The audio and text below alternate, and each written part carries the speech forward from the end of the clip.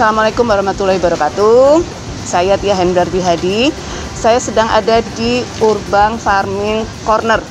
Tempat yang sangat luar biasa, tempat area berkumpul anak-anak muda supaya anak-anak muda sejak dini diajari mengenai tanaman-tanaman supaya nanti mereka setelah dewasa akan cinta terhadap tanaman.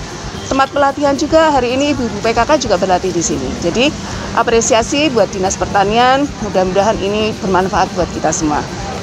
Luar biasa.